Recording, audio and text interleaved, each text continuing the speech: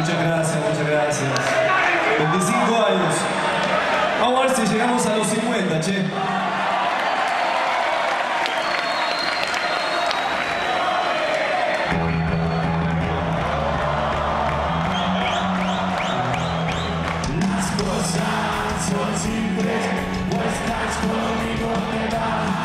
Las cosas son muy simples